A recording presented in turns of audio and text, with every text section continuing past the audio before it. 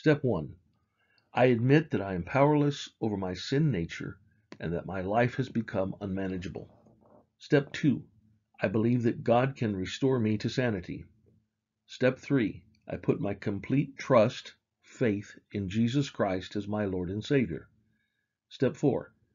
I need to make, continually, a moral inventory of myself in the light of the Word of God. Step 5.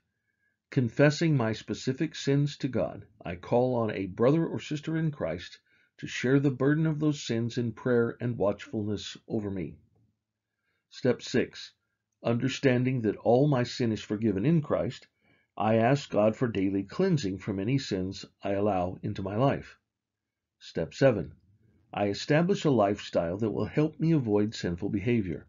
I ask for God's help daily for strength to resist temptation. Step 8.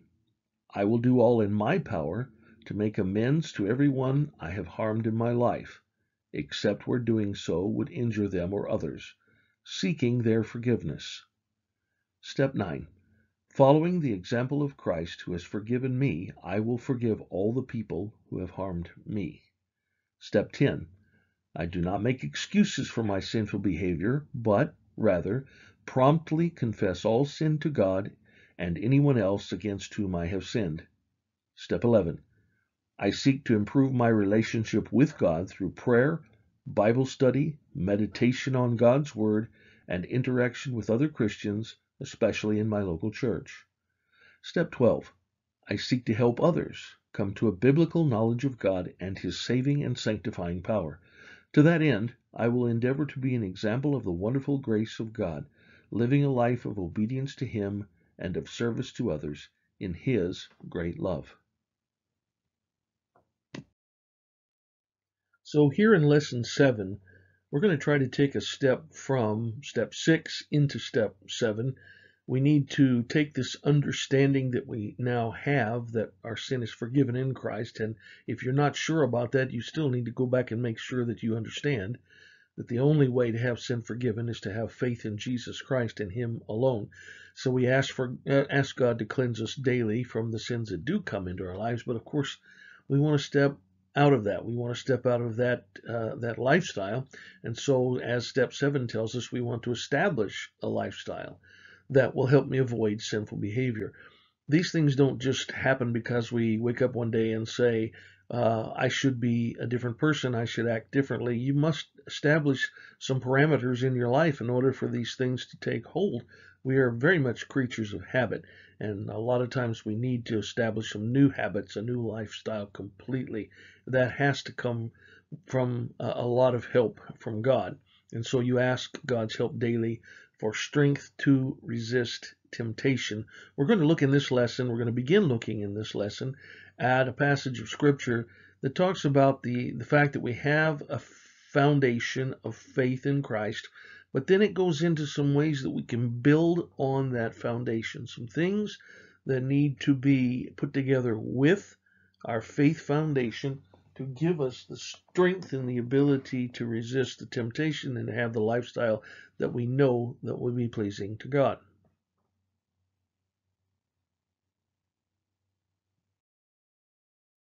So we're going to study now a little bit of uh, 2 Peter chapter 1. If you have not done so before in these lessons, I encourage you now to get your Bible, have it open, have it with you as we study this.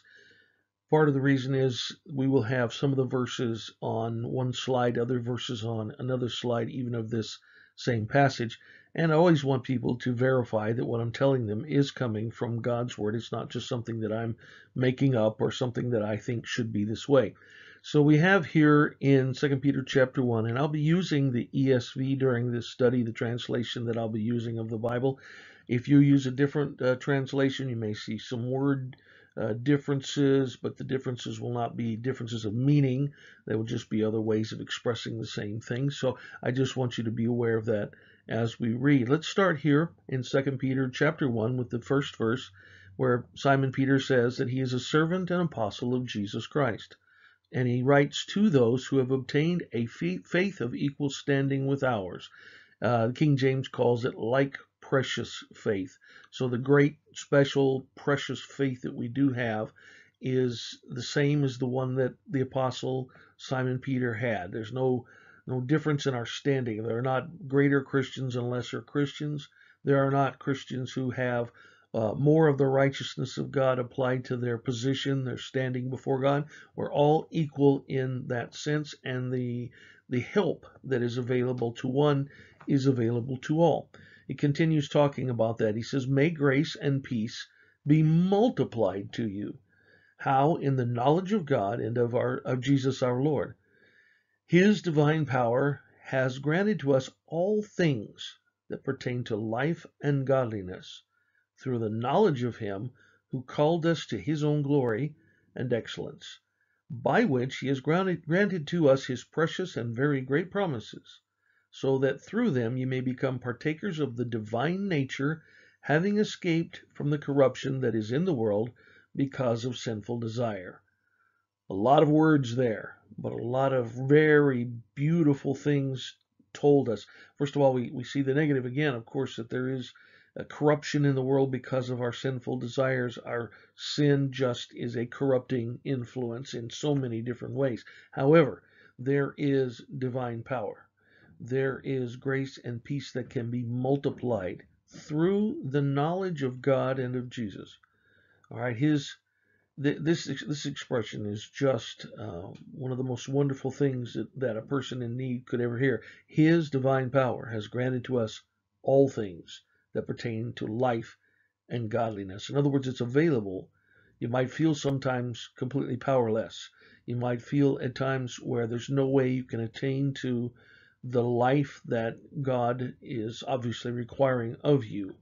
But understand that though we do fall and though we do fail and though we uh, don't always take advantage of it, this power, this divine power, this the power that is absolute that God has grants to us the ability to live a life that is a life of godliness. Now that comes, he continues on in that passage, through the knowledge of him, the knowledge of whom? The one who called us, the knowledge of him who called us to his own glory and excellence, by which he has granted to us precious and very great promises. So the one who was nailed to the cross and who said, If I be lifted up, I will call all men unto me, the knowledge of him. Uh, the, we'll talk about that, what that means in, in a little bit, but the knowledge of him is essential uh, to gaining this power that leads to life and godliness.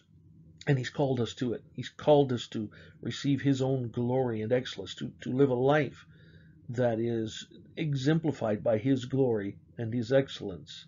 And he has promised this. He has granted it to us. He's promised us such great and precious things.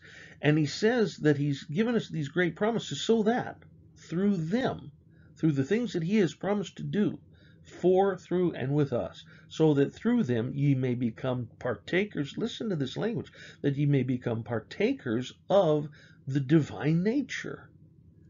Now, no one's going to say here that uh, we're going to become sinless in this life. The Bible is very clear. We've talked about that already in some previous lessons. We've talked about the fact that we're all sin, sinful. We all have the nature and we all have the tendency, and it just it happens. It's it's going to continue to happen in our lives. But he tells us here that through believing in these promises, taking hold of the promise that his power is available for us to live the right kind of life, to live a godly life, that we can partake of the very nature of God. Unfortunately for us, while we're still in this world, we're going to have the two natures fighting against each other. And I, I, I love the old illustration that I heard, heard many, many years ago of uh, a gentleman who had worked with Native Americans for many years in, in a missions effort. And he said he was talking to one of them one day who had accepted Christ as his Savior. And he said, How's, how's that going for you? How's the uh, life of trying to live for Christ. How is that? He says, sometimes it's hard. And the, the missionary asked him again, he said, well, in what way is it hard? Can you explain uh, the sensation or how, how that feels? And He said, Well, I feel like that there's a black dog and a white dog inside of me and that they're fighting all the time. He's talking about the two natures and how they do battle one with the other. And the missionary asked him the question. He says, "Which which dog wins?" And the, the very wise answer came back, "The one I feed the most." And that's exactly the way it is in our lives as well. The divine nature is available to us. It's in us if we become uh, a believer in Jesus Christ. We become uh, a part of His family. Uh, we are partakers of that divine nature. And he goes on to say that we have escaped from the corruption that is in this world because of sinful desire. Again, unfortunately, we would love to say that we've escaped completely from ever participating in anything that is sinful, that is not of the divine nature. But that has a lot to do with us. That has a lot to do with the choices we make. It has to do which of those dogs we feed the most. And so uh, there are a lot of keys here to how we can live uh, victoriously over whatever sin we might need to defeat. And in particular, what we're talking about, of course, with addiction has a lot to do with this lifestyle, with this taking the standing where we are and moving on into the proper lifestyle that is pleasing to God. Peter goes on to say, for this very reason, in other words, because of all the things that we've seen up to this point, for all of the, the help that is available because of all of the uh, power that God has made at our disposal to live a godly life. For this reason, now comes your part. For this very reason, make every effort to supplement your faith with virtue. Now, we're going to go through each one of these words in subsequent lessons. I just want you to get them in your mind right now and consider them. Uh, supplement your faith with virtue, and virtue with knowledge, and knowledge with self control, and self control with steadfastness, and steadfastness with godliness, and godliness with brotherly affection, and brotherly affection with love. For the reasons that have already been stated, for the availability of help from God, that the, the great and precious promises made by God to us in this area, based on that, Peter says, look, here's what you need to do. You need to start with faith. You've got to start there. You've got to have the belief in the Lord Jesus Christ in order for this to even be available to you. But when you get that, you need to add these other uh, other conditions into your life. Well, you say, but but I can't do this. I can't make it. It's too hard for me. It's too strong for me. First Corinthians, um, chapter number ten talks to us about this concept of temptation. And uh, in the chapter, he gets down to chapter 12 and, and he throws out again the negative side of it. Let anyone who thinks that he stands take heed lest he fall. In other words, be careful that you don't think that you're something, that you're capable. I, have I've heard people who are going through addiction problems as well uh, come to the place where I can do this. I'm just going to grab hold of it. I'm going to get rid of this thing out of my life. The Apostle Paul's talking about it under inspiration of the Holy Spirit in 1 Corinthians 10, and he says that just you need to be careful. If you think you have the strength to do something like this in in, in yourself and on your own, you have you're standing in a in a position where you may be falling soon. But then he goes on with again the good news. If you if we just stop thinking that I've got to do this myself and look at all these things that Peter has lined out for us here in this chapter, Paul also says this in verse 13 of 1 Corinthians 10. He says, No temptation has overtaken you that is not common to man. In other words, don't think you're the Lone Ranger in all of this. And you know, you know, whatever your uh, addiction may be, you know that there are other people who have been imprisoned by this same addiction. All right? There's nothing that's not common to man. We all fight with these issues, with these uh, uh, desires that are that are for things that we shouldn't have, or at least in a way that we shouldn't have them. And he, but he says that there's it's common. It's to all of us. And then he continues though. He said, there again, we all we all have these problems, but God is faithful. What a statement! God is faithful. We know what faithfulness means. I think we understand that. That means that we can be counted on. If you say, yeah, that's a faithful friend, you, you mean that that friend, no matter what comes up, even if you do something wrong, even if you do something stupid, if they're a faithful friend, they're still going to stand by you. Well, God is faithful. God is 100% faithful. And he makes us promises, as we've already talked about in 2 Peter. Here he says God is faithful, and he will not let you be tempted beyond your ability. All right, now that sounds like it's all us, and there's definitely a part of it that is us. You will, he will not let you be tempted beyond your ability. Now listen to this part though, but with the temptation, he will also provide the way of escape that you may be able to endure it, or you may be able to get through the temptation without succumbing to it, without without falling into that temptation. So here we have both sides of it in one one verse. God is faithful and he will not let things come upon you beyond what you can deal with, but he's going to also be the way that you deal with it. With the temptation, he will also he will also provide the way of escape. Now, now notice that he's providing a way. He's not reaching down and pulling you completely out of the moment of temptation.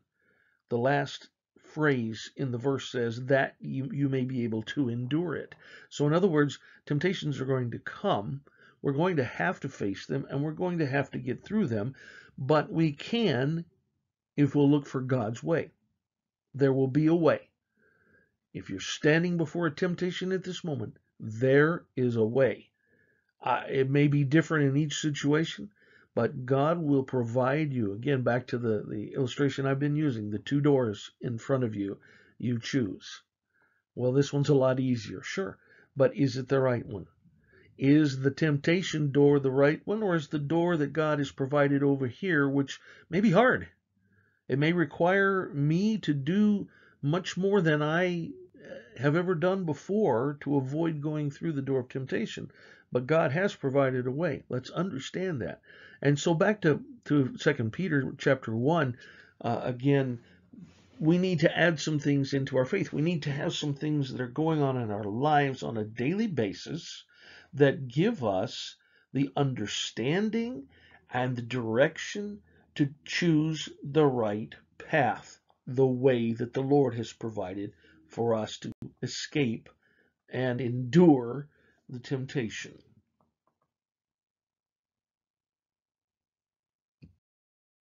As I said earlier, we're going to look at each one of those qualities that were just mentioned. And uh, before we get to that, though, let's take a look at what these things can actually do for us. Here, as we continue in 2 Peter 1, he says, For if these qualities are yours, and are increasing, they keep you from being ineffective or unfruitful in the knowledge of our Lord Jesus Christ. We, we need knowledge. We need to know Him. We need to understand uh, as much as our finite minds can who Jesus Christ is, but we need a knowledge that is experiential based. We need to know him as a person, as a reality in our life. We need to, to know not only who he is, but what he is like, what he is capable of, what our relationship with him is. Otherwise, he says, if these things are not uh, increasing, if they're not existent and increasing in our lives, then we are kept from not from being saved, not from being children of God, not from having eternal life, but we are kept from being effective. We're kept from being fruitful. And those of you who have struggled with either an addiction or even just possibly a, a, certain sin that just seems to crop up so many times in your lives, you know the sensation of making the wrong choice and looking back at it and saying, if I hadn't done that, how much more I could have done for the cause of Christ, how much more I could have done to help someone else in their walk, either to the Lord or with the Lord. We don't want to be ineffective or unfruitful in our knowledge. You can know all the data, all the details about the life of Jesus Christ here on this earth. You can know all of the biblical teachings about him and still not have an effective, fruitful life in that knowledge. But he says if these qualities that he just lined out are yours, and if these things are increasing. In other words, you're exercising them and allowing them to take deep root in your life, then they'll keep you from being ineffective and unfruitful. In other words, they'll make you effective, they'll make you fruitful. That the knowledge that you have, both uh, both the academic knowledge and also the experiential knowledge that you have of Jesus Christ, can be effective and it can bring forth fruit. And then he goes on to tell us what happens so many times for whoever lacks these qualities. If you're not allowing these things to develop in your life, and again, remember, he's talking to believers here. He's talking to people who have come to faith in Jesus Christ. Whoever lacks these qualities is so nearsighted that he is blind, having forgotten that he was cleansed from his for former sins. Oh, so many times. So many times we stand before a temptation. We don't have the development and the growth of these so important qualities in our lives to show us and, and to make the choice clear and easy. You stand before the two doors and you you can't tell uh, sometimes as clearly as you should at least which door is actually the best door. A lot of times it's clear. A lot of times it's clear. But our sins cloud our judgment then. We've forgotten that we've been cleansed from the former sins, and now we stand before the opportunity to either sin or not in this present moment. What are we going to do? Are we blinded because we have not allowed this knowledge to become effective and fruitful? Therefore, brothers, he says, be all the more diligent to confirm your calling and election. Now, some people take this to to speak of uh, make sure that you are saved, and he goes on, he goes on to say, if you practice these qualities, you will never fall. There are those who talk about falling out of salvation, falling from your calling and the election. Election is a concept that means that you're part of the body of Christ. You're you belong to Him. Uh, if you practice these qualities, you will never fall. He's talking to brothers in Christ, and we know from Scripture in many places that this is eternal life we're talking about, so it doesn't have an end. But he says you need to confirm your calling and election. It doesn't mean that you even necessarily have to make sure that you have it, although that's a, a good thing to check on and a good thing to think about if you're not sure. But the concept that he's bringing out here is practice these things, put these things, these qualities into practice in your life, confirming by what you do that your faith is real. In other words, Walk the walk. You talk the talk, walk the walk. If you're truly a born again child of God, then let these important qualities that God wants to give you come in and let them increase and grow in your life to keep you from falling into that temptation, whatever it may be. He goes on to say, For in this way there will be richly provided for you an entrance into the eternal kingdom of our Lord and Savior Jesus Christ a rich entrance into eternity. Uh, some people, look, it seems, some people are going to get there by the skin of their teeth. They're going to have their sins forgiven, and that's wonderful. I mean, we could bring to mind the thief on the cross who cried out to the Lord for forgiveness in, in his last moments. We know they were truly his last moments, though some people would hang on a cross for many days before dying on this particular day, there was a Sabbath coming on, and uh, so the Roman soldiers, in order to not incite the Jews to any more uh, any more problems uh, during this time, they went around and broke the legs of those who were still alive on the crosses, so they could no longer push themselves up against the nails in their feet and get extra breath to stay alive just that much longer. A human tendency. We know that Christ uh, allowed himself to expire. He gave back to his Father his spirit. Instead of being killed, he actually gave up his life. And so his legs were not broken when they came to him. He he was already dead. But the thief on the cross, then, on the very day that he was crucified, and on the very day that he would die because of the breaking of the legs, cried out and said, Remember me, Lord, when you come into your kingdom. And Jesus understood what he said and understood his heart and said, This day you will be with me in paradise. And he said, This day, that very day, knowing that the thief was going to die that day and that he himself was going to die that day. I'm not sure that the thief understood that yet, but we do know that Jesus knew.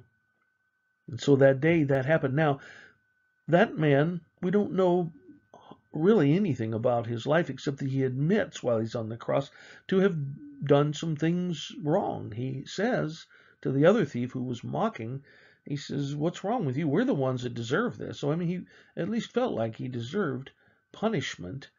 Uh, and here he is being punished, and he's crying out for mercy. So we know we know that most likely his life was not a rich life in effective and fruitful uh, following of God.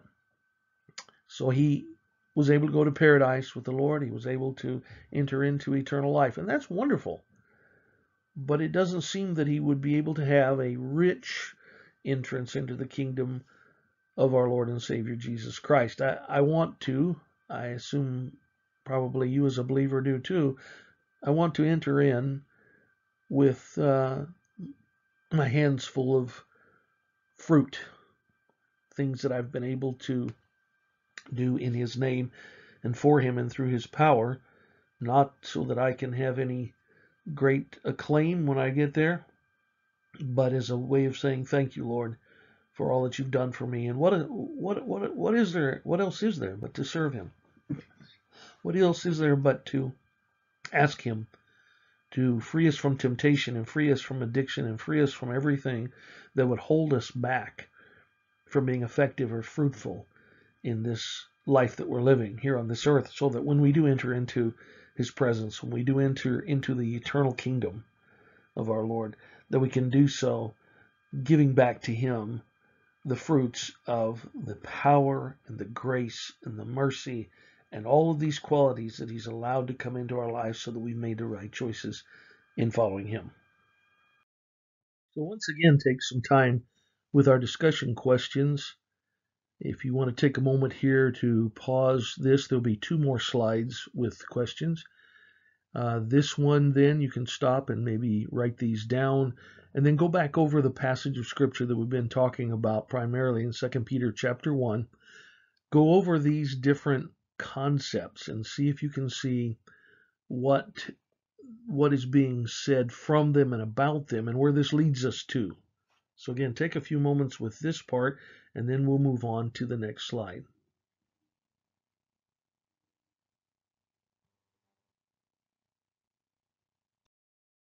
This is a very straightforward question. So we want to list the qualities that 2 Peter 1 says we need to be adding into our life of faith.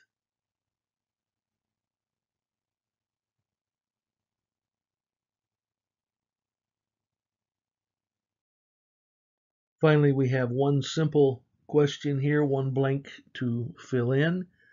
We want to look at uh, 2 Peter 1 and verse 8 to answer this question, to, to insert into that blank your answer to this.